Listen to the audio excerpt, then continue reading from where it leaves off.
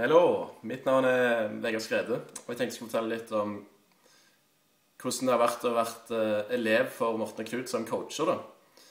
Um, og det har egentlig vært uh, Det har vært sykt bra, det har det. Um, når jeg kom inn og skulle jobbe med dem, da, så var mine utfordringer spesielt at uh, jeg ikke visste helt uh, Jeg visste hva jeg ville i livet, men jeg turte ikke å gå for det da. fullt, siden jeg syntes det var skummelt. Um, jeg sleit med å Med å um, uttrykke hvem jeg var, på en skikkelig måte. Jeg ble liksom veldig fort den stille personen i hjørnet som ikke sa noen ting og sånne ting.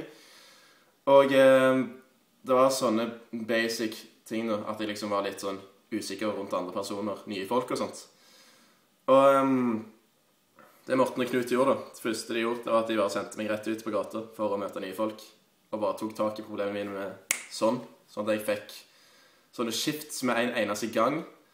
Og fikk på en måte bygd opp en grunnmur av selvsikkerhet som jeg nå videreutvikler hele tida, siden jeg jobber med de fortsatt. Um, og det som er så bra med de da, det er at de får deg til å se egne utfordringer sjøl og finne løsninger sjøl, i stedet for å bare pushe deg. og liksom, Du blir ikke avhengig av dem. De bare gjør at du blir et selvstendig menneske som tar ansvar sjøl for å få bedre, et bedre liv, da, egentlig. Så Og det som er så kult med de som coacher òg, er at du blir skikkelig kompis med dem. Det blir ikke sånn Ja, jeg er coach, jeg er leder-forhold. Det er sånn Du kan kødde med dem, dytte litt borti dem og sånne ting. Så det er kult at du får sånn kameratslig forhold. I tillegg til at du lærer mye av dem. Du har sykt mye respekt for dem fordi de lærer deg så mye. De er fulle av kunnskap. Og eh, du merker at de er veldig opptatt av din egen utvikling. Da. At de er opptatt av at de de coacher, skal komme så langt som mulig, og at de blir De tar på en måte resultatene på sin eh,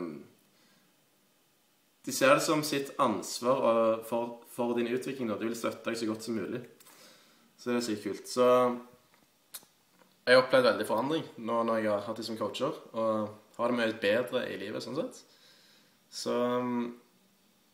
den workshopen som de reklamerer for nå, det er noe jeg anbefaler på det sterkeste. For jeg tror alle som er på den, vil få veldig mye ut av det. Så go.